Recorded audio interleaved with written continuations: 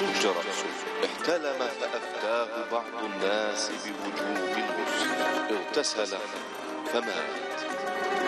فقال صلى الله عليه وسلم قتلوه قتلهم الله. هلا سألوا إذا لم يعلموا الحمد لله رب العالمين وبه نستعين والصلاة والسلام على أشرف الأنبياء والمرسلين نبينا محمد صلى الله عليه وعلى آله وصحبه وسلم تسليما كثيرا مزيدا إلى يوم الدين. مشاهدينا الكرام تحية طيبة. السلام عليكم ورحمة الله وبركاته. حياكم الله. أهلا ومرحبا بكم معنا وبيننا في هذا اللقاء الذي يجمعنا بكم كل مساء من السادسة إلى السابعة عبر شاشتكم قناة القرآن الكريم للإجابة عن أسئلتكم واستفساراتكم.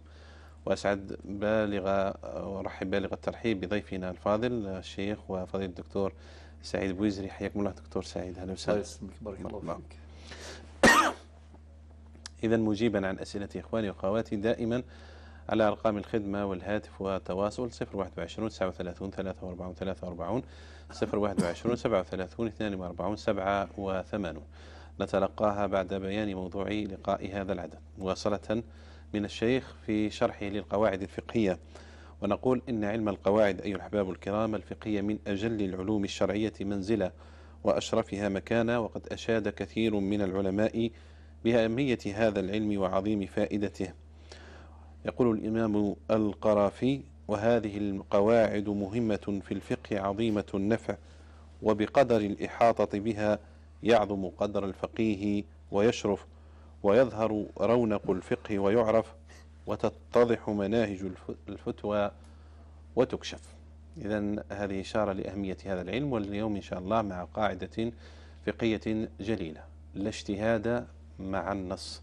يقول الله تبارك وتعالى في كتابه قولا كريما أعوذ بالله من الشيطان الرجيم وما كان لمؤمن ولا مؤمنة إذا قضى الله ورسوله أمرا أن يكون لهم الخيرة من أمرهم ومن يعص الله ورسوله فقد ضل ضلالا مبينا من هذه القاء من هذه الآية الكريمة جاءت آه هذه القاعدة.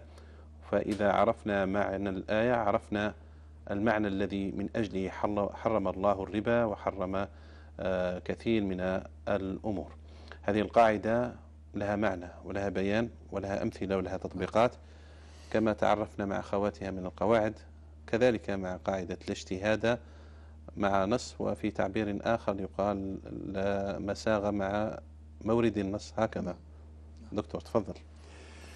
لك الفضل. بسم الله والحمد لله والصلاة والسلام على رسول الله معاشر المشاهدين الكرام. السلام عليكم ورحمة الله.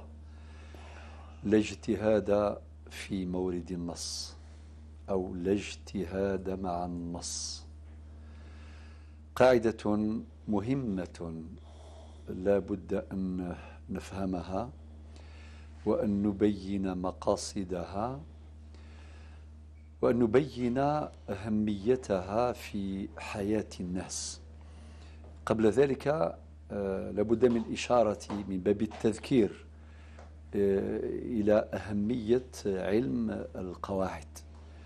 فالقواعد الفقهية علم جليل.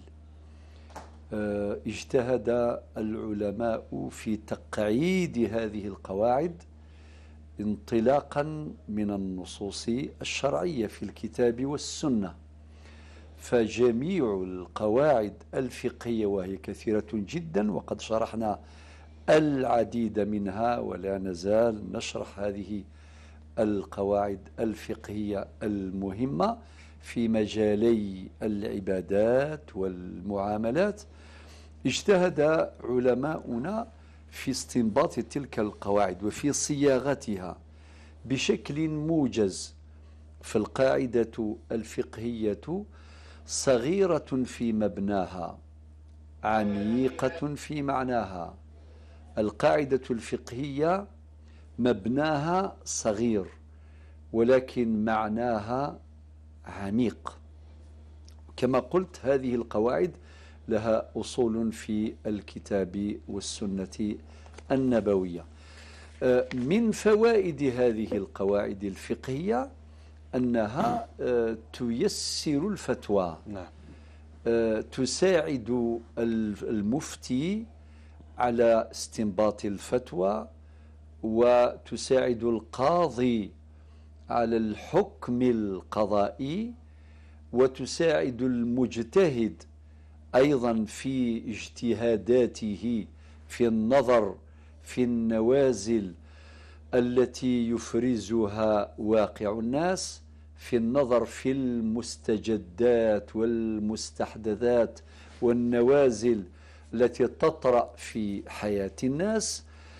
إذن فوائدها عظيمة جدا. ومن العلماء الذين تحدثوا عنها العز بن عبد السلام آه، الذي يلقب بسلطان العلماء والإمام القرافي صاحب الفروق وصاحب الذخيرة والقاضي عبد الوهاب البغدادي آه، صاحب التلقين والمعونة بالمناسبة الذي يقرأ كتاب المعونة وهو كتاب جيد جدا. التز يعني طبق العديد من القواعد الأصولية والعديد من القواعد الفقهية. إذا وكتاب الأشباه والنظائر يعني العديد من الكتب التي تناولت هذه القواعد الفقهية.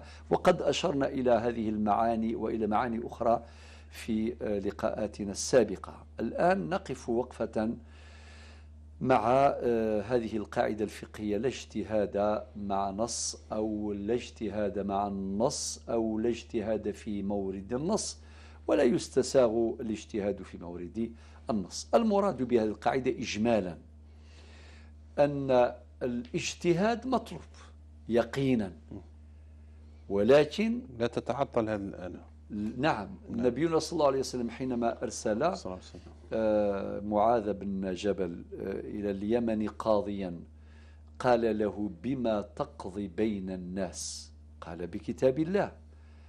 قال له فإن لم تجد أي إذا لم تجد نصا قرآنيا آه، في القضية المعروضة.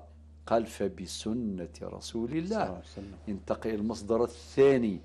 قالوا فإن لم تجد قاله فإن لم تجد أيضا نصا حديثيا في سنة النبي صلى الله عليه وسلم متعلقا بهذه المسألة المعروضة قال أجتهد رأيي ولا آل. قال له أجتهد أبذل كل ما في وسعي من اجتهاد لا أدخر جهدا. إذا يجوز له الاجتهاد عند عدم وجود نص. ولكن آه، فضلا عن ذلك كذلك الآيات القرآنية التي دلت على هذا المعنى. الآن أعود إلى آه، مضمون هذه القاعدة لا اجتهاد. إذن هذه القاعدة تمنع الاجتهاد ولكن متى؟ حينما يكون هناك نص قطعي ثبوتا ودلالة. آه، فإذا وجد نص قطعي ثبوتا ودلالة فيمنع الاجتهاد في ذلك. أذكر على يعني أمثلة على ذلك. قال الله تعالى, الله تعالى قال الله تعالى في سورة البقرة في الآية 275 وأحل الله البيع وحرم الربا فالبيع إذن مباح. طبقا وهذه الآية وهذا الجزء من الآية هو دليل على القاعدة الفقهية الفقهية التي شرحناها فيما سبق أن الأصل في المعاملات الإباحة إلا بنص بمعنى يجوز الاجتهاد في جميع المعاملات العقل الإنساني له الحق في أن يجتهد في إبرام العقود والتصرفات وفي اختراع أنواع الشركات وأنواع العقود المنظمة للمعاملات بلا حدود ولا سدود فالأصل في ذلك الإباحة. إلا إذا وجد نص مانع فإذا عدنا إلى الآية 275 من سورة البقرة تمنع التعامل بالربا. هل يجوز لشخص أن يقرض غيره مبلغا ماليا مقابل نسبة مئوية من الفائدة؟ يقول أقرضتك هذا المبلغ مقابل نسبة فائدة. تقدم شهريا أو سنويا أو كليا عند استلام المبلغ عند السداد. الجواب لا. كل قرض جر منفعة أو جر ربحا فهو, فهو ربا. ربا والربا محرم بنص الكتاب والسنة وقد استمعنا الآية آه، في سورة البقرة وأحل الله البيع وحرم الربا. والربا قليله وكثيره حرام. هل يجوز يسوغ الاجتهاد هنا؟ لا يجوز. ربنا قال ولأبويه لكل واحد منهما السدس مما ترك إن كان له ولد. فإذا مات شخص وترك ولدا سواء كان ذكرا أو أنثى لأن لفظ الولد لفظ المشترك ينطبق على الذكر والأنثى. وترك والدين الجواب طبقا لهذه الآية الأب له السدس والأم لها السدس طبقا للآية الواضحة فهي قطعية في ثبوتها والقرآن كله قطعي من حيث الثبوت. وفي دلالتها ولأبويه لكل واحد منهما السدس. إن كان له ولد. انتهى الأمر. القطعيات الأخرى الواردة في مجال العبادات. ربنا قال في سورة البقرة الآية 110 أقيموا الصلاة وآتوا الزكاة. إذا لا اجتهاد في مورد النص. هل يجوز لشخص أن يقول لا لا نطبق الزكاة؟ الجواب لا. الزكاة وردت في نص في نصوص قطعية في القرآن وفي السنة النبوية. وكذلك المقادير. هل يجوز للشخص مثلا أن يقول أن مقدار الزكاة هو عشرة بالمئة؟ معناه اللي عنده 100 مليون سنتيم بالنسبة للجزائر وحال عليها الحول لازم يدفع 10 ملايين؟ الجواب لا. لا اجتهاد في مورد النص. نقول الواجب دفعه هو ربع العشر. ربع العشر لا اجتهاد في مورد النص. أي 2.5% فقط يعني 25 ألف دينار جزائري. بالنسبة لمن يملك مبلغ 100 مليون سنتيم وقد حال عليها الحول. نصاب الزكاة كما قلنا فيما سبق طبقا لحديث النبي صلى الله عليه وسلم مقدر بعشرين دينارا ذهبيا. طبقا للحديث الذي خرجه الإمام مالك في موطئه. إذن عشرين دينار ما يقابل الآن خمسة وثمانين غراما ذهبيا يعني آه، بالأوزان الحالية. كم مقدار النصاب الفضة؟ هو 200 درهم. طبقا لذات الحديث. المخرج في موطأ الإمام مالك. ماذا يعادله في الأوزان الحالية؟ 595 غراما آه، آه، في الفضة من الفضة وهكذا. وكذلك أصناف الزكاة أيضا لا اجتهاد لأنها وردت حصرا في الماد في الآية الستين آه، في الآية رقم ستين من سورة التوبة توبة. إنما الصدقات أي الزكوات للفقراء والمساكين والعاملين عليها. هذه ذكر هؤلاء. هل يجوز لنا أن نجتهد؟ نقول الغارمون الغارمون لا يدخلون في أصناف الزكاة. الجواب لا لا اجتهاد في مورد النص. هل يجوز لنا أن نعدل في رمضان؟ آه، آه، رمضان يدور حول الفصول. نعم. هل يجوز لنا أن نثبته في فصل الشتاء مثلا الجواب لا. ربنا قال فمن شهد منكم الشهر فليصمه الآية 185 من سورة البقرة. آية الدين اللي موجودة في سورة البقرة. الآية 282 آه، يا أيها الذين آمنوا إذا تدينتم بدين إلى أجل مسمى فاكتبوه. ذكر توثيق الديون والإشهاد والتجارة والرهن. كل ذلك وارد. إذن هل يجوز مخالفة نص الجواب؟ لا. قال الله تعالى في سورة البقرة لا تمسكوهن ضرارا لتعتدوا. هل يجوز؟ الجواب لا يجوز. المحرمات القطعيات كما في سورة النساء حرمت عليكم أمهاتكم وبناتكم إلى آخر المحرمات القطعيات التي وردت بنصوص قطعية في ثبوت ودالة في القرآن والسنة. وكذلك آه، ما ورد في السنة على أن يكون ثابتا قطع يعني قطعا في, في السنة النبوية وللعلماء في أصحاب الصناعة الحديثية لهم طبعا باع وبحوث معمقة في هذا المجال وقد يكون النص ثابتا قطعا قطعيا ولكن من حيث الثبوت قطعي ولكن من حيث الدلالة لا. هناك نصوص ظنية الدلالة في القرآن وفي السنة. في القرآن كله قطعي ثبوتا. حيث الثبوت ولكن من حيث الدلالة لا. هناك نصوص قطعية في الدلالة وهناك نصوص ظنية في الدلالة والأدلة موجودة. ربنا قال يتربص بأنفسنا ثلاثة قروء ما المقصود بالقرء؟ هذه من الأمثلة المشهورة ولكن هناك أمثلة أخرى. القرء عند السادة المالكية والشافعية المراد به الطهر وعند السادة الحنفية والحنابلة المراد به الحيض.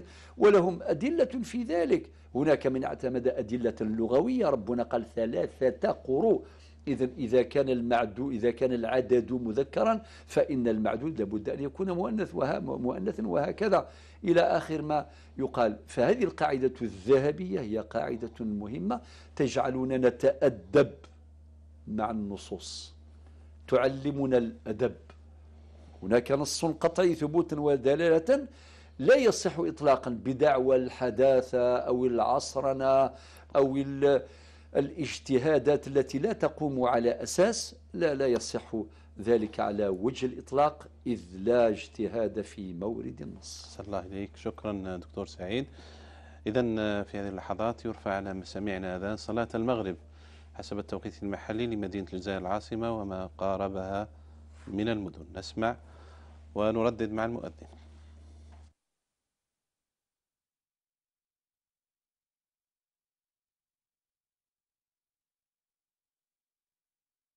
بسم الله الرحمن الرحيم. إن الصلاة كانت على المؤمنين كتابا موقوتا. صدق الله العظيم. أشهد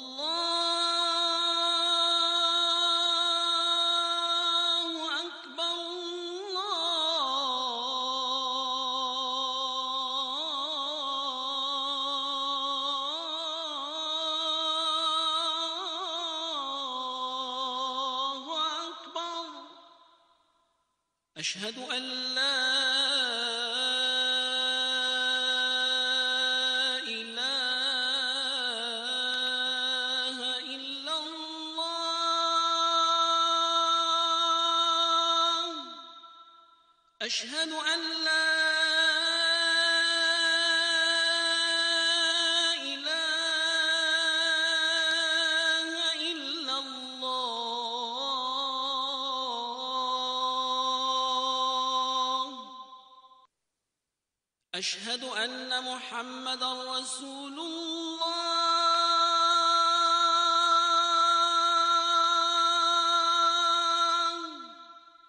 أشهد أن محمد رسول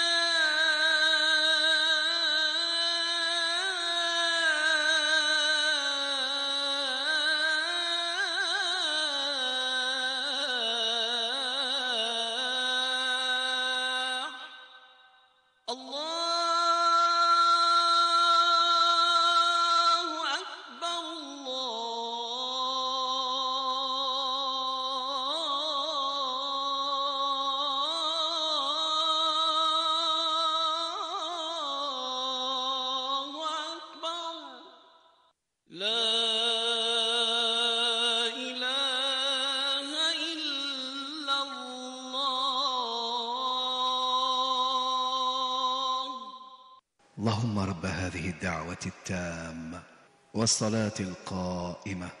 آت محمدا الوسيلة والفضيلة والدرجة الرفيعة. وابعثه اللهم مقاما محمودا الذي وعدته. تقبل الله صلاة الجميع بمزيد من الأجر والمغفرة والثواب ونشر على بركة الله. في إجابة إخواننا السائلين والسائلات ومع السؤال الذي ورد البرنامج دكتور سعيد يقول صاحب السؤال شيخنا الفاضل توفيت الوالدة الكريمة رحمها الله من أيام. بعدما كانت تعاني من المرض الذي أقعدها الفراش وفي هذه الفترة كانت ترعاها وتقوم عليها أختي الصغيرة رعاية كاملة وتامة. في حياة الوالدة أوصت أختي الكبيرة وكانا لوحدهما بالقول سلسلة العنق وأقراط الأذنين لأختكم الصغيرة التي ترعاني. وفي آخر حياتها قالت ذهبي أتركه للوالد هو يوزعه عليكم. أما الوالد بعد وفاتها قال من عاداتنا وأعرافنا أن الذهب يوزع على الإناث فقط. علما أن جل الذهب اشتراه الوالد الوالدة في حياتها فيسأل السائل يقول هل يدخل مال التعازي في التركة؟ يقول أن فيه ناس جاءوا عزاهم أعطاهم المال. ويقول أن الوالدة تركت الذهب وبعض المال وثلاث نعاج. ونحن الورثة الزوج اللي هو الوالد تاع الأخ السائل وست بنات وخمس ذكور.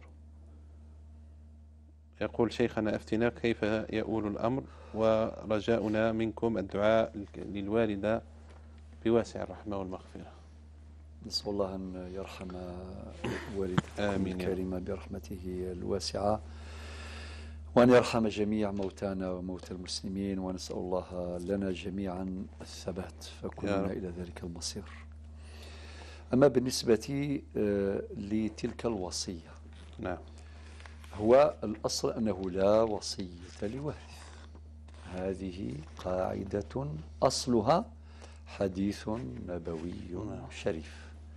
قال النبي صلى الله عليه وسلم إن الله قد أعطى كل ذي حق حقه فلا وصية لوارث. ولكن لا حرج شرعا من مراعاة العرف الذي ذكره هذا الوالد. هذا العرف قائم أن الذهب يؤول إلى البنات. لا حرج في ذلك. خاصة أن الوصية نتاع المرحومة وصلت باللي تروح لبنتها الصورة وبعدين نسختها نعم. بوصية أخرى وكأن أعطت التوكيل لهذا لزوجها يعني لوالدكم. فلا حرج شرعا من احترام إرادة هذه المورثة المرحومة. لا حرج شرعا. أما بالنسبة لمال التعازي هذا لا يدخل في التركة. هو ليس مملوكا للمورثة ما معنى التركة؟ ما خلفته أو ما خلفه المورث. ما خلفه؟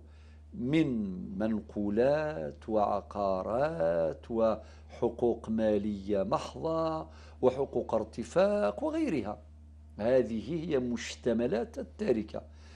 ولا نجد مال التعازي في, في, في, في مكونات التركة وفي عناصرها. هذه الأموال تقدم عادة دعما مساعدة مواسات. جبرا لخواطر آه، عائلة المتوفات مواساة لهم ليس إلا. إذن يصرفوها على الدار بيناتهم ويقضي وكذا إلى آخره وربما يديروا أي مشروع إذا كان مبالغ مالية كبيرة لفائدة الجميع والسلام ولكن هو ليس ميراثا وليقسم قسمة الميراث. أما ما تركته المورثة من ذهب ومال وثلث نعاج هذا كله ميراث يقسم كالآتي. الزوج طبعا باباكم هو زوج المرحومة يرث الربع لوجود الفرع الوارث. الباقي يؤول إلى ستة بنات وخمس أبناء للذكر مثل حظ الأنثيين كما قال ربنا في آية القرآن يوصيكم الله في أولادكم للذكر مثل حظ الأنثيين. أصل المسألة هنا هو أربعة يعني آه، اللي هو المقام الوحيد الباقي عصبة بالغير. المقام الوحيد اللي هو أربعة هو أصل المسألة. ربع أربعة هو واحد يقول للزوج الباقي هو ثلاثة. ثلاثة أسهم لا تقبل قسمة على البنات والأبناء. ست بنات هم ستة. زائد خمس أبناء. كي نطبقوا القاعدة الآية للذكر مثل حظ الأنثيين. خمس أبناء بتضعيف رؤوس الأبناء يوليوا عشرة. خمسة في اثنين يوليوا عشرة. زائد ستة اللي هو ست بنات المجموع هو 16 السؤال هل يمكن قسمة آه، ثلاث أسهم على عدد الرؤوس اللي هو 16 الجواب لا لأنه علم الفرائض في هذا المقام وفي آه، هذه المرحلة لا يقبل الفواصل ولا الكسور. إذا نقول أن المسألة قد انكسرت والمسألة المنكسرة تحتاج إلى جبر وتصحيح. كيف نصححها؟ بضرب عدد الرؤوس المنكسر عليهم وهو 16 يضرب في أربعة. 16 مضروب في أربعة يساوي 64 يساوي 64 الآن نستخرج الأسهم الجديدة بالنسبة للأصل الجديد الذي صححت به المسألة. نقول الزوج عنده ثلاثة مضروب في آه، عنده واحد مضروب في 16 يساوي 16 إذا الزوج يرث 16 من أصل 64 أما البنات والأبناء نضرب ثلاثة اللي هو عدد الأسهم تاعهم بالنسبة للأصل القديم مضروبة في العدد 16 يساوي 48 يساوي 48 إذن 48 آه، من أصل 64 يقسم على 16 النتيجة يساوي ثلاثة. كل آه، ابن أو كل بنت ترث ثلاثة مضروبة في واحد يعني ثلاثة من أصل 64 والأبناء كل ابن يرث ثلاثة في اثنين في اثنين يعني ستة من أصل 64 إذا هذا هو هذه الفريضة بالنسبة لهذه المسألة. بارك الله فيك شكرا. طيب نستمع إلى نصيرة من الجلفة. مرحبا. نصيرة نعم. ألو؟ نعم يا نصيرة مرحبا. السلام عليكم خويا وعليك السلام ورحمة الله. آه لاباس خويا. الحمد لله. آه ربي يحفظكم إن شاء الله. خويا بغيت بغيت نطرح عليكم أسئلة خمس أسئلة معليش. فقط إذا تسمعينا من التلفاز نقصيله تماما الله يرضى عليك. آه ذاك نعقد خويا صح يعيشك نعم تفضلي. آه خويا عندي آه، بغيت نسألك على واحد السؤال مهم. آه تسمع فيا خويا؟ نصيرة تفضلي بالسؤال رجاء. يعطيك الصحة. إيه أخويا زوجي طلقني قداش مرة؟ هكذا. إيه. وهو في حالة غضب بزاف. قال لي ما ما نفيقش كاع واش نقول. قال لي وأنا نقول له روح اخدم وجيب لنا صوالح وكاع. آه، داويني وجيب لي بحث واش ناكل وواش وهو ما قال لي ماكش خادمة. الله غالب ما كاش خادمة. فهمتني ومن بعد كي نقول نبداو نداوسوا نداقوا نداقوا كي يزعف بزاف قال لي ما نفيقش واش نقول. قال لي باش نسكتك برك باغي باه نسكتك. صافي ومن بعد يقول لي راكي طالق وراكي محرمة وراكي. نصيرة أنت شايفتيه بلا خدمة يعني منين يجيب لك؟ إيه وأنا غالب قلت له دبر منين؟ راسك شوف الحل أنا ما عندي ما ندير لك هكذا قلت له. إيه. ربي يرزقكم إن شاء الله يفتح عليكم إن شاء الله. بعد يطلقني ويحرمني قداش مرة؟ وقلت واقيلا حرام ولا مش عارف راني عندي 19 عام وأنا مزوجه به وقاعدة عنده. وكيفاش نعمل خويا؟ ولا ما عنديش وين نروح؟ ما عندي لا مالية لا خاوتي كل واحد في داره وأنا راني هنا وحيدة وعندي غير طفلة واحدة وما كاش وين نروح. راك تعرف وكان وين نروح؟ واقيلا نهمل وما على بالك نتوضر وما نش عارفة كاع واش يصرالي الله يحفظك إن شاء الله ويرزقك إن لازم شاء الله. توصل مع زوجها آه، ما بغيت. نخسر داري ولا ما بغيت أخويا نخسر داري بغيت نقعد مع شوفي هذا السؤال والصح- آه، نصيرة هذا السؤال قال لك الشيخ خلي رقمك نتواصلوا مع الزوج هذا نسمعوا منه ونفهموا عليه. إذا إذا فيه أسئلة آخ- أخرى تفضلي بها. عندي خويا أسئلة واحدة أخرى عندي اربعه أخرى اللي بغيت. تسمعوني. ربي نعم. يحفظك إن شاء الله. نعم. هكذا.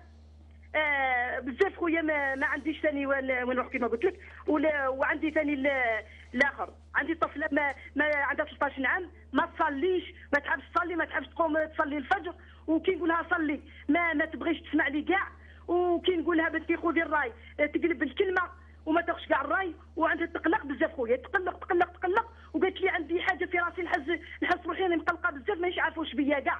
قالت لي آه، كي نعود زعفانه ما نفيقش كاع واش ندير. تزعف وتسب فيا. وأنا نزعف نضرب فيها. ما عرفتش كاع واش بها خويا ادعوا لها بالخير ربي يحفظكم إن شاء الله.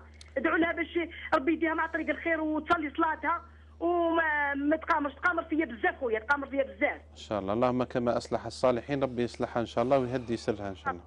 إن شاء الله الله ينورك اخويا. صافي وصلاه الفجر كاع ما تصلي لا صلاه الفجر وصلاه تاع الأوقات هذو كي نقول لها صلي صليهم غير بالسيف غير بالسيف برك. نعم نعم. آه. وراجلي آه، زيد سؤال واحد أخر راجلي ثاني ما يصلي بدون وضوء. ما يتوضاش كاع يصلي بدون وضوء خويا. كاع ما يصلي آه، يتوضا بدون آه، يصلي بدون وضوء ديما نقول له توضا باش تصلي ما يقول لي عادي عادي يصلي هكذا هكذا بدون وضوء بالك راه متوضي هو. لا لا نشوف فيها عايش معايا. ديما ما يتوضاش كاع يصلي هكذا كذا إيه، والفجر ثاني ما يصليش. الفجر ديما ديما يروح عليه الفجر. وما يصلي, يصلي غير الاوقات هذوك بصح يصليهم بدون وضوء. آه. وزيد نعطيك سؤال الثالث الثالث خويا لا معليش.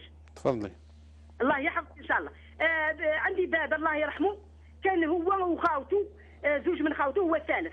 ديما يدقوا على ال- الأرض على الأرض. إيه ما فهمتش يدقوا يدقوا يتدقوا يتخاصموا على الأرض. إيه ديما خويا متنايفين ديما متنايفين هو وخاوته. كي ماتوا كاع كل واحد الله يرحمه ماتوا في ثلاثة. اسمحي لي يتخاصموا على قسمتها ولا يتخاصموا على ال- الرسمة الرسمية تاعها ولا على واش؟ تاع باباهم خلاهم الورث تاع الأرض تاع باباهم. ما قسموهاش.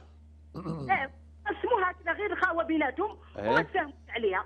ديما يدوسوا يدوسوا. هذا يقول الأرض تاعي هذا يقول تاعي هذا يقول تاعي. ودقوا يدقوا. ومن بعد كي آه، سنين هما متفاشيين. ماتوا ماتوا كذاك متفاشيين بيناتهم. هذا ما يهضر مع هذا. ماتوا. ماتوا كاع في ثلاثة. ربي إيه كي يرحمه. بابا الله يرحمه كي. عمومي إيه ماتوا نعم. كاع هما ماتوا متنايفين خويا. يعني واش يقول شرع هنايا هل يا ربي سبحانه يغفر لهم؟ يعني واش داروا؟ يعني ولا آه، يعني حق المجاهده تاعهم بكري جاهدوا. الله يرحمهم كاع مجاهدين كاع كانوا يمشوا الله يبارك معنا ما شاء الله. يعني في الدين الله وكل شيء. وراك تعرف آه، ربي غرهم الشيطان علينا على الله غالب واش يعمل؟ ربي يرحمهم. هم راحوا لرحمة الله. إن شاء الله. الله يتولاهم برحمته. آه، زيد لك سؤال أخويا الله يحفظك إن شاء الله. آه، بابا الله يرحمه كي كان في فرنسا. نعم. ما يصلي ما يصوم. ما يصلي ما يصوم. كاع ما يصلي ما يصوم. ومن بعد آه، السنين. كي جا البلاد الجزائر آه، يصلي مرة يصلي مرة ما يصليش. مرة ثاني ياكل رمضان ما مرة يصوم مرة ما يصومش. وهكذاك مسكين مات. بالمرض الله يحفظنا ويعافينا إن شاء الله ويعافيكم إن شاء الله. مات مرض ماشي مليح. مسكين وتعذب تعذب عامين هو هو مسكين يتعذب وكي مات الله يرحمه مات مسكين هو يضحك. مات يضحك مسكين الله يرحمه. فهمتني مات هو متبسم يتبسم. بصح آه، إن شاء الله نتمنى إن شاء الله ربي يغفر له إن شاء الله. وقضى هذاك الصوم قضى ولا ما قضاش؟ والله ما قضاها خويا ما قضاش كاع. ما قضاش. وساعات عندي أختي ساعات تصوم عليه ست أيام شوال. تصوم عليه ست أيام شوال كل عام. بصح هذاك ما يكفيش هو السنين اللي شحال شحال عليه ايامات ولا عوام؟ السنين العوام العوام خويا حصراه ملي كان صغير يصوم واحد آه، 50 سنة هكذاك ولا 50 كل ما صامهاش. إيه 50 عام هكذاك كل ما صامهاش ما ما صلى. ومن بعد كي جا للبلاد يصلي ويصوم بصح يخلي ثاني ما يصليش ديريكت مريقله صلاته مريقله يجاوبك إيه. الشيخ إن شاء الله. آه، خويا ثاني نزيد نعطيك سؤال للاخر الخامس خويا معليش. تزيد ولا آه، واسمه. السادس. راه السادس. راكي في السؤال السادس روح آه، السؤال الثالث حقها يعيشك ربي يحفظك إن شاء الله. هذا هذا بركه عندي طفلة قلت لك عمرها 13 عام ما تصلي ما تصلي. قلت لك واقعي ما تصليش كاع آه وعندي جارتي خويا بغيت نسألك على الج- الجيران. عندي بعض الجيران صامتين وقربعوا بزاف في الباب وتعرف سكوت برك يسلفوا بزاف. وواحد الجارة ماشي يفتح لها في الباب. زعفت وتدعي عليا قالت لي على ماكش تفتحي لي في الباب زعفت وراها تدعي لي بالشر خويا مش عارفه إلا أنا ظلمتها ولا يعني واش يعني يقول شرع في هنا يعني. ديما أنا شوف أخويا صامته هذاك الجيران الجيران تاعي كاع صامتين على كل حال. بصح وحده صامته بزاف. شوية مريضة مرض عقليه شوية. وأنا ما نحبش نفتح لها الباب خويا. صافي هي تغضب عليا قالت لي راكي ظلمتيني هنا ما تفتحيليش الباب وكاع وتدعي لي بالشر. واضح يا نصيرة واضح. الله يعيشك خويا. شكرا.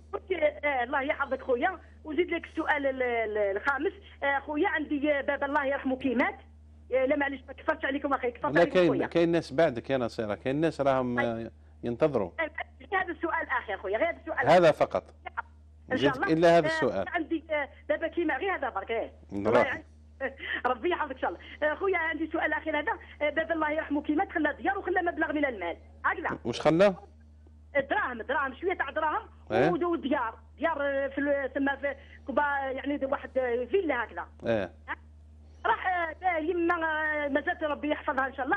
آه، عطاتهم لخاوتي ذوك الديار. ما ما ما عطاتناش منهم كاع. والدراهم عطاتنا منهم غير شوية بصح بزاف اللي عطاتهم لخاوتي خاوتي عطاتهم بزاف وحنا عطاتنا غير شوية برك. بصح كفايه تمدلهم الديار آه، أو ما على اسم باباك؟ إيوا تاع بابا تاع بابا الله يرحمه. بصح كتبوا على اسم يما. آه أعطى كاتبهم في الحياة على اسم يماك. يعطيك الصحة. هاي عطا- كتبوا على في حياتها. وقالها باللي آه، هو خلاهم هكذا ما قالها والو. بصح إيه. هو يما ربي يذكرها بالخير ما تحب ذراري قالت لك نحب ذكورة وعطاتهم لهم على اسمهم عطاتهم لهم كاع وحنا ما عطاتناش منهم كاع يماك راهي حية حية يماك. آه راهي هي حية. عندي أختي آه، كا- كانت مطلقة خويا كانت مطلقة يما ديما تحقر فيها وما ترحمهاش وما تدعي لها غير بالشر آه، تعرف ما ما ترحمهاش كاع خويا يعني واش يقول هنا الشرع؟ هل يما آه، يذكرها بالخير؟ يعني آه، ربي يسمح لها؟ ولا واش يقول هنا الشرع يعني؟ طيب جاو نجاوبوك نصير. استمع لنا وخلي رقمك الهاتفي لكي يتواصل معك الشيخ. الله يحفظكم إن شاء الله خويا آمين. نقول لكم شكراً ينوركم شكراً. إن شاء الله راكم نورتوا الجلسة ربي ينوركم إن شاء الله. نور قلبك بالإيمان إن شاء الله. الله يحفظكم إن شاء الله. نعم شكرا. فوزية من البوليدة نعم. فوزية تفضلي. ألو السلام عليكم. وعليكم السلام ورحمة الله. أه واش راكم أساتذة؟ الحمد لله. أه أستاذ عندي لك سؤال واحد. نعم. أه عندي الله ينعم عليك عندي لي آه، وحدة حبيبتي من وهران. أه خطبها واحد آه، مغترب في أمريكا. وكي آه، كي خطبها فتح عليها وعقد. وهي دارت عرسها. هنا في الجزائر دارت عرسها بصح لم يتم الدخول. ومن بعد ومن بعد هو عاود ولا راح لأمريكا آه، حيثما يعني آه، يريق لها كواغطها كما نقولوا بالعامية باش يريق لها كواغطها ومن بعد قال لها تطلعي لعندي يجي لعندي لأمريكا. إيه. آه، في هذيك الفترة بعد شهرين من هذاك الاحتفال والعرس وداروا حشاة الحلال وكلش ربي يخضع أمانته آه، مرض وتوفى. هذا ال- العريس ربي يرحمه. آه، هذا العريس ربي يرحمه توفى. علما إنها هي عندها آه، 52 سنة في عمرها. و كي تو- كي توفى دركايا سقساو الائمه و est-ce que آه، دير العدة ولا ما ديرش كاين اللي قالوا لها ديري وكاين اللي قالوا لها ما ديريش العدة. هي دركا راهي معتده دركا راهي عندها قريب شهرين هي دايرة العدة. في دركا راهي محتارة. est-ce que تكمل العدة تاعها ولا ما تكملهاش؟ هذه غير مدخول بها ما دخلش بها. لا لا ما تخافش بها. قال لها نحسب كي تريق ليك وقتك هي دارت حفلتها هي. وحدها برك مالي هو ما داروش. هي في وهران قامت الحفل. راك تعرف إحنا في الجزائر الصاله و... والاحتفال هذا. آه قال لها كي نريق لك وقتي في أمريكا تريق لي نعيط لك باش تطلعي. آه وملاحظة ثانية اوراقها في الامريكان ما تسقموش. يعني ما قال لهاش كواغطها آه فتحت غير هنا بعقد جزائري والفاتحة تاع على سنة الله ورسوله. عندها عقد مدني هنايا عندها عقد مدني. تسال على العدة est-ce que دير العدة ولا نعم. ما ديرش والسؤال الثاني آه، أم هي راهي طامعة يعني في الورث ولا شهريته ولا ورث نتاع آه، الجزائر ولا تاع أمريكا؟ آه، ماليه دوك آه، ناط مع ماليه في شجار. راهم داروا افوكات وكلش ماليه عندها عقد هنايا يا برك هل عقد اسمعيني إنسان. السؤال هذا هو فوزية. ماذا بك تجاوبني في هذه الأسئلة أستاذ؟ فوزية هل عقده هنا عقد المدني ولا لا؟ لا لا عقده عقد مدني وبالفتحة تاع الشيخ. داروا عقد في البلدية. داروا عقد في البلدية. دوك هي راهي تسأل على العدة. آه، آه، يا ترى تكمل العدة ولا ما كاش عدة؟ علما يا شيخ نأكد لك باللي ما دخلش عليها. خلاص واضح إن شاء الله. إن شاء الله. يعطيكم الصحة الشيخ سلمك، بارك بارك الله الله فيك. فيكم. شكرا. طيب في اتصال نعم. اتصال باتنا من؟ ألو؟ أم محمد ياسين. ياسين. مرحبا بك. السلام عليكم يا خويا. وعليكم السلام ورحمة الله وبركاته. راح نرد عليك عندي سؤال راح نحطه عليكم. تفضلي. راح نقول لك ال- حنسال الشيخ واش من الطريقة اللي نحفظ القرآن تسمى باش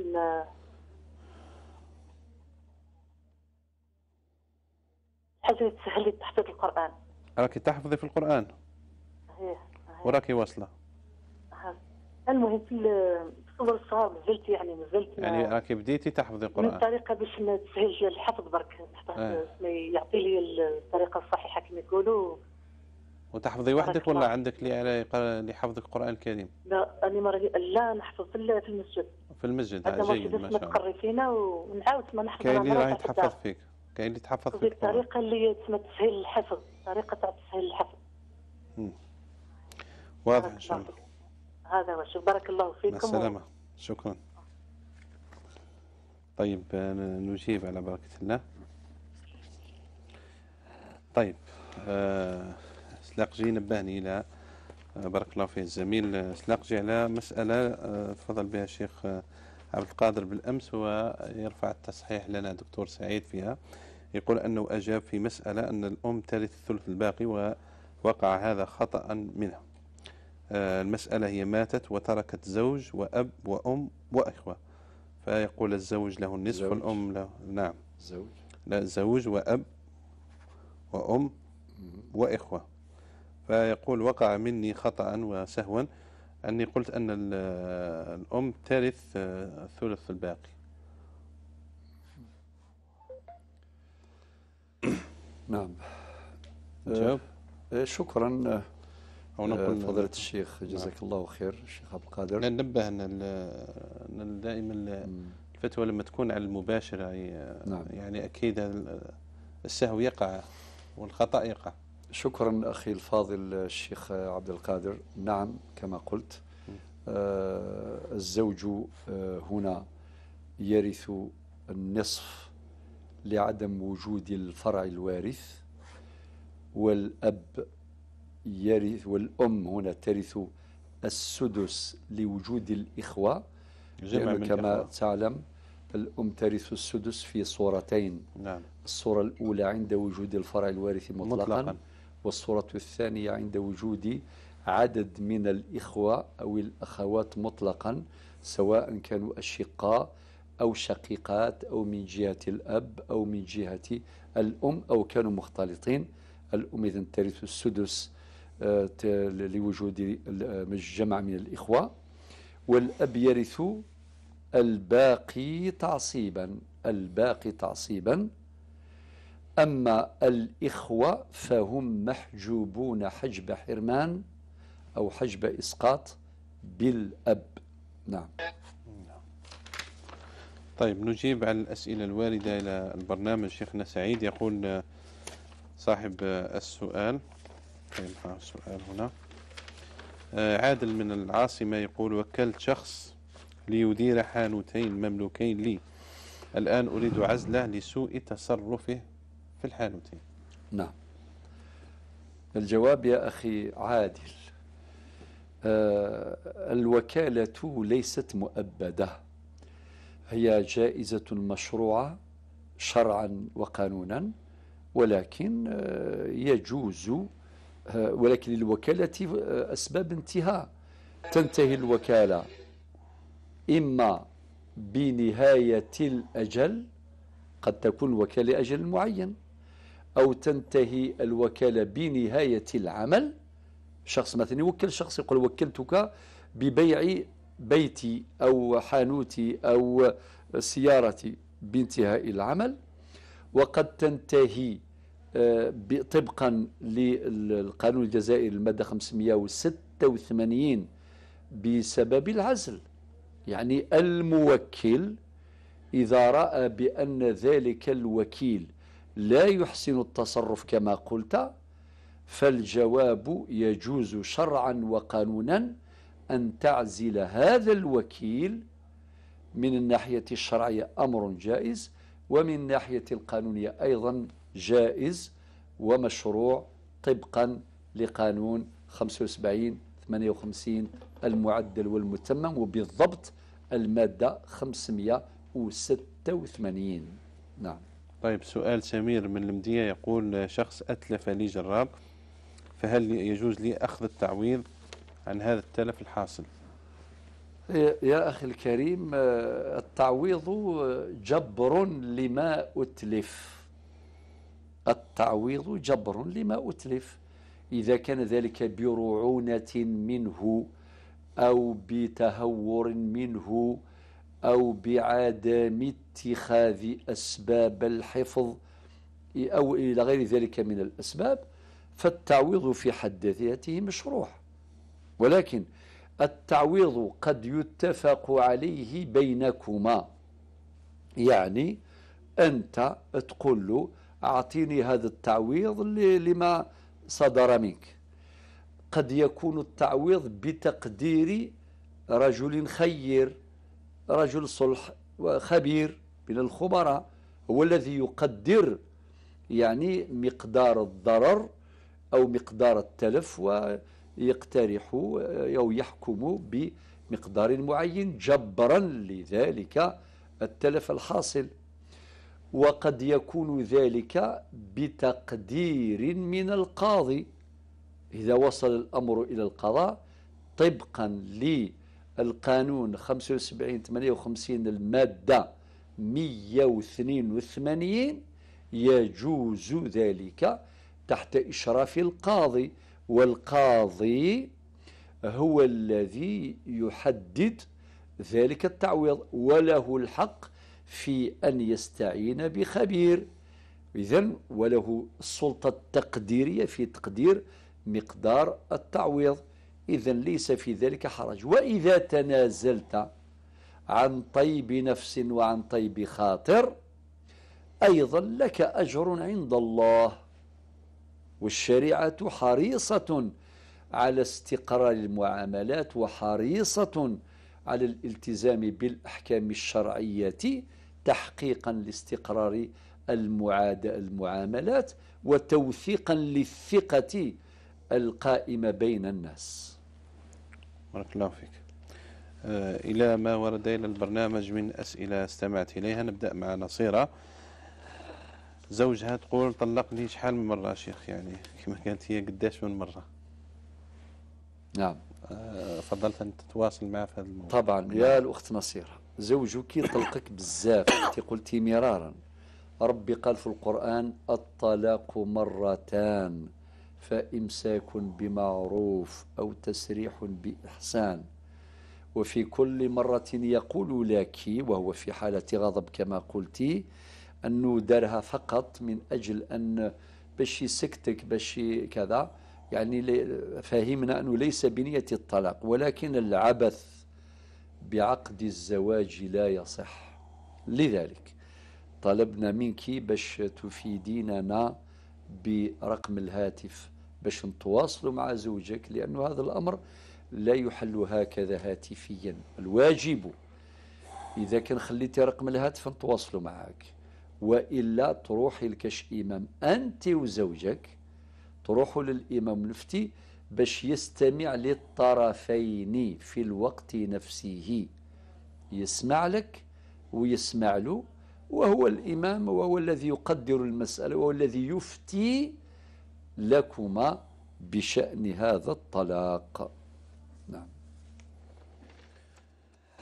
طيب سؤال موالي تقول عندي عندها بنت لا تصلي ولا تسمع الكلام وهذه البنت يعني كان لها اضطراب يعني قلق. وتحس به هذه البنت وتقول أنها تحس بهذا القلق والاضطراب يعني الذي تعاني منه. نعم. ركزي معي يا نصير. بنتك عندها 16 سنة. وهذا العمر هو من المراحل الصعبة جدا. ذكور وإناث عند الذكور وعند الإناث. لذلك أنت عسي روحك. أنت راك تقولي نضربها. ما تضربيهاش. والوصية هذه نقدمها لجميع الأمهات والآباء. ما تضربوش ولادكم؟ هذا الضرب خاصة بعض الوالدين يتجاوزون الحدود حدود التأديب ويلحقون أضرارا كبيرة بولادهم. يلي غلطوا وداروا هذه الأخطاء يحبسوا يتوقفوا نهائيا. الوقت ما يسمح ليش باش نفصل في الآثار السلبية الناجمة عن هذا السلوك الصادر من بعض الوالدين. ما تضربيهاش راكي قلتي هي راهي تتقلق كثير. ننصحوك باش تديها لطبيبة نفسانية. لازم تعرض على الطب النفسي. لا تتقلق كثير. ذلك شيء من القلق. هذا يشعر به جميع الناس كبارا صغارا رجالا نساء. ولكن إذا كان هذا القلق صفة غالبة فيها لازم تعرض على الطب النفسي. قلت ما تصليش نصحيحة نصحيحة يا نصيرة. تنصح تذكر فقط. هولو كان تزيد تضرب وكذا تزيد تكره كامل. ممكن تولي تصلي بلا وضوء ولا دير اشياء كهذه. وزيد تكره الصلاة. تكره الصلاة. نروح بالعقل بالعقل بالعقل ربي سبحانه أمرنا بالرفق ونبينا صلى الله عليه وسلم أمرنا بالرفق. إلا زانه كما قال في الحديث الصحيح. وربنا عز وجل قال في القرآن الكريم في الدعوة عموما ويصح الاستشهاد بهذه الآية ادعو إلى سبيل ربك بالحكمة والموعظة الحسنة وجادلهم التي هي أحسن الحكمة. والدين النصيحة كما قال النبي صلى الله عليه وسلم النصيحة والتذكير بقال وذكر فإن الذكر تنفع المؤمنين. التذكير والنصيحة والإرشاد والتوجيه وتصلي معاكي مرات ما تقولها بنتي روحي صلي معايا وتصلي مع تصلي معاكي جماعة وباللطف إلى آخره. إن شاء الله ربي يهديها ويصلح بالها ويحفظها من كل بلاء آمين. طيب سؤال الموالي تقول زوجها يصلي بلا وضوء. هذا أنا شايفاته بعيني. أمر عجيب. صلاته باطلة. نعم. لا تصح هذه الصلاة بلا وضوء. وهذا من العبث بالدين. هذا من اللعب بالدين وهذا أمر لا يجوز. قطعا قولا واحدا. ربي يهديه هذا واش نقول وأيضا يحتاج إلى النصيحة والتذكير ربي يهديه ويهدينا جميعا. آمين. طيب آه، سؤال موالي. تقول عندي الوالد آه، مع إخوته الثلاثة دائما كانوا في خصام في تشاجر على الأرض على قسمتها وماتوا متخاصمين مع أنها كانت لهم يعني جلائل الأعمال من الجهاد وغير ذلك. ولكن كل واحد مات ما يهدرش مع أخوه. أولا بالنسبة للجهاد نتاعهم ربي يتقبل جهادهم. نسأل. الله القبول. أما بالنسبة لموضوع الورث ومن الورث يقتل أو يغلب فسوف نؤتيه أجرا عظيما. يعني أخطأوا جميعا. للأسف. للأسف. لأنهم ما قسموش الميراث آه، اللي ربي سبحانه هو اللي قسموا على الناس. لا شيخ. قسموا ما تفهموش في القسمة. قسموا الميراث وما تفهموش لو كان يشافوا الناس يدخلوا بيناتهم يفريوها بيناتهم. ماشي بتغنانت وبكذا وكذا. درك الأمات متخاصمين نقولوا لهم نسأل الله لهم المغفرة. ربي يغفر لهم. آمين. وكثر لهم بالدعاء إن شاء الله والصدقة عليهم. إن شاء الله. إن شاء الله ربي يتقبل وربي يغفر لهم. باباها ما كانش يصوم ولا يصلي قرابة خمسين سنة. وقالت من بعد رجع وصلى وصام يعني وت- وترك. والله مات بالسرطان. وقالت مات يضحك يعني. ربي يرحمه برحمته الواسعة. إحنا ندعو دعاء بالرحمة دعاء للجميع ربي يرحمه نعم. برحمته الواسعة. ولكن أنتم اجتهدوا في قضاء ما عليه من صيام بقدر الم- المستطاع. وهي أيام كثيرة واللي ما قدرتوش تصوموه تقدموا فدية عنه وعن كل يوم ما صاموش والأيام اللي ما صامهاش. وكثروا له الدعاء والصدقة. نسأل الله أن يتغمده برحمته الواسعة ورحمة الله واسعة. إن شاء الله. تقول عندي جارتي صامتة. يتسلفوا بزاف الحوايج وقالت أصبحت لا أفتح لها الباب ودعت عليها. يعني آه، الدعاء لا لا دعاؤها لا يضر. نعم. إذا كان مادام أنت ما ظلمتيهاش وقتاش يضرك الدعاء نتاعها؟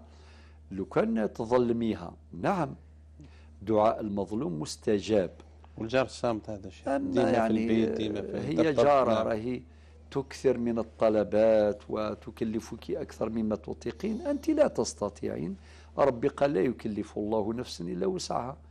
فاعتذر لها قال ما عنديش و- والسلام.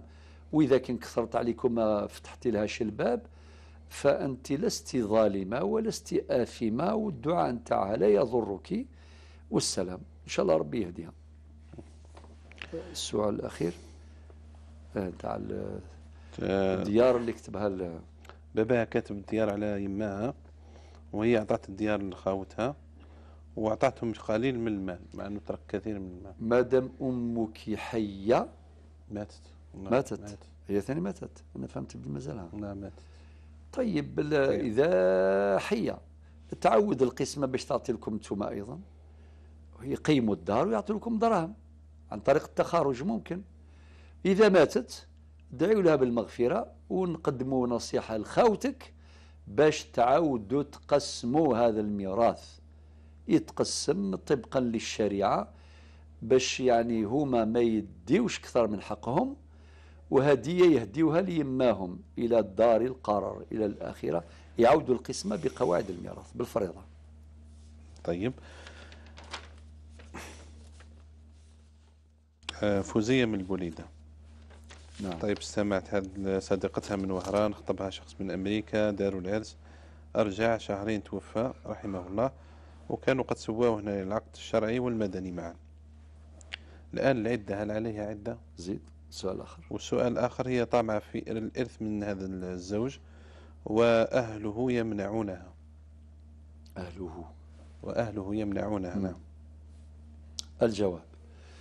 ولن بالنسبة للعدة نعم تعتد لأن تعتد هذه المرأة لأن زوجها قد مات. لكن بعد تمام العقد الشرعي والمدني. إذا تجري عليها حقوق الزوجة. منها أنها تعتد أربعة أشهر وعشرة أيام. كما قال القرآن يتربصن بأنفسهن أربعة أشهر وعشرة. أما بالنسبة لحقها في الميراث تستحق الربع لعدم وجود الفرع الوارث. يعني زوجها هذا الله يرحمه إذا خلى 800 مليون هي تأخذ 200 مليون. إذا خلى 400 مليون هي تأخذ 100 مليون هذا حقها الشرعي. نعم. وعندها حق واحد آخر أنها تأخذ هذيك المنحة نتاعها. فقط. هو مات وهما متزوجين ومات. تأخذ كل الحقوق الشرعية والقانونية. أما أهله الرافضون نقول ربي يهديهم. ما عندهمش الحق يرفضوا ولدهم مات الله يرحمه. هو وليدهم ولكن انت زوجك. اذا عندهم هما في الميراث ثلث أرباع اللي بقاو. ثلث أرباع اللي بقاو. يتوزع على حسب الورثه الآخرين. والسلام. أما بالنسبة لهذيك نتاع ال- ال- ال- المنحة هذيك تولي لك لأنه القوانين تقضي بذلك. ما يقدروش يعطوها لا فوف يعطوها للأرملة ما يعطوهاش لواحد آخر. اذا هذا ما كان. والسلام ماذا بقي؟ بقى سؤال ياسين آه. أم ياسين ولا؟ آه نعم. ما هي الطريقة المثلى لحفظ القرآن الكريم؟ والله يا أختي ليس هناك طريقة واحدة. نعم. طرائق عدة هناك طرائق عدة نعم. طرائق. الطريقة اللي خرجت عليك هي وطبعا هناك نصائح عامة. نقول مثلا واحد يعني يترصد الأوقات آه، اللي يسهل فيها الحفظ اللي هي وقت الفجر. آه، والليل مثلا والليل. وقت الليل وقت السحر كي يكون هدوء ماهوش كي يكون فوضى والغاشي والناس وكذا وتحفظي ما تحفظيش. حتى كون تحفظي سريعا وتنسين سريعا. هذه هذا أمر يؤخذ في الحسبان. الأمر الثاني إذا كنت يعني ترتاحين أكثر يعني ال- الصور الصغيرة. أبدأ من الصور الصغيرة. سوره الناس وبعدين سوره الفلق سوره الإخلاص وهكذا. هذه طريقة. وبعدين تروحي من الصور قصار الصور وبعدين طلعي شوية شوية. وربما آخرون يعني ينفع معهم يبدأ بسورة البقرة. سورة البقرة العمران وهكذا. البقرة 286 آية وسورة العمران 200 آية وهكذا. هناك يعطي من طريقة أخرى. ينتقي الآيات. يروح لسورة البقرة الآية 255 آية الكرسي. نعم. يحفظها. يروح لسورة العمران يحفظ الآية 191 وما بعدها. وين يقول ربي سبحانه إن في خلق السماوات والأرض واختلاف الليل والنهار. هناك اللي يرتاح باش يحفظ أسهل آه، عليه آيات الأحكام. هناك آيات اللي فيها قصص إلى نعم. آخره. المهم تواظبي. وما تكثريش. أفضل إذا كان طاقتك أنت تستوعبي تحفظي آية واحدة في النهار تكفي. آية واحدة في النهار معناه في في شهر 30 آية. يعني في, في, في العام عندك 365 آية يساعدك يعني. نعم. هكذا. والتكرار أيضا مهم وكان يحفظ المصحف كان يحفظ من اللوحة كان يحفظ بالسمع نعم. إذا كانت طرق كثيرة. والباقي يكملوا محمد صالح. نكمل الباقي. كمل إحنا نعطي نعطي قواعد فقط. تفضل. أول شيء في الحفظ لازم يحفظ على الشيخ ثاني شيخ آه، ثاني الأمر الثاني. هي وقيل عندها شيخة تحفظ في الجامعة عندها شيخة. جاء هذه آه هذه مسألة مهمة. نعم. من من هم في حالها هذو لازم يحفظوا من سوره الناس الحفظ. من سوره الناس إلى سوره البقرة. المراجعة من البقرة إلى سوره الناس. الأمر الثالث أنه يتخير الأوقات. بعد الفجر الليل آه، الأوقات التي يترسخ فيها الحفظ. الأمر الرابع سيد الشيخ في المتشابهات آه، يتلف لهم بزاف الحفظ. فأمثل طريقة أنه يأتي بالمتشابهات وينظر فيها ينظر فيها يعني يجيب واحدة منها واحدة منها ويكتبها. هنا تترسخ له يعني رسوخا تاما. نشرح لك يا, يا نعم. هذه المسألة. نعم. تجيب سورة المائدة الآية 92 إن هذه أمتكم أمة واحدة وأنا ربكم فاعبدون. نلقاو في سورة المؤمنون الآية 52 وأن وإن قراءة هذه أمتكم أمة نعم، واحدة وأنا نعم. ربكم فاتقون. تشوفها لازم يشوفها ويقيدها وتقيدها. وما تنساهاش. الأمر الآخر أن يحفظ من مصحف موحد. مصحف واحد ما تبدليش المصاحف. في الطبعة وفي الرواية. في الرواية. وهناك وتراجعيها في الصلوات يعني كي تقراي نعم. خاصة في قيام الليل. هناك من يحفظ بالسماع. يسمع نعم. يحفظ يسمع. وهناك من يحفظ بالتكرار. نعم. الأمر الآخر في طريقة مثالية جدا هو أن يحفظ أن يكرر عشرين مرة. آه ولا آه، يحفظ أكثر من الثمن في اليوم الواحد. آه يحكم آية يقرأ عشرين مرة ثم التي بعدها عشرين مرة. إلى أن يكتمل الثمن ثم يقرأ الثمن عشرين مرة. هذا يترسخ ترسخ عجيب يا شيخ. الله يبارك. الأمر الأخير في, في نعم. خمسون ثانية. قاد خمسين ثانية. الحفظ كنز لا يعطى لأحد. نعم. والعامين الأولين صعاب الشيطان له نصيب منها. فالإنسان لا يعجل ولا يحرك به لسان ليتعجل حفظ القرآن ولكن يثبت ويختم ديما يختم القرآن يعني يجمع بين المراجعة والحفظ. تم الكلام وربنا محمود بارك الله فيك سيدنا الشيخ. الله شكرا جزيلا. الله شكرا للزميلة زينب في وقت الإشارة للأخت نهى وزملائنا جميعا في الخدمة التقنية. تحياتنا لكم. يلقاكم الشيخ بعد قليل بعد إن شاء الله في حدود الساعة التاسعة في برنامج والصلح خير برامج قناة القرآن إن شاء الله تلقوها أدنى الشاشة على الرابط. في أمان الله والسلام على الجميع ورحمة من الله وبركاته.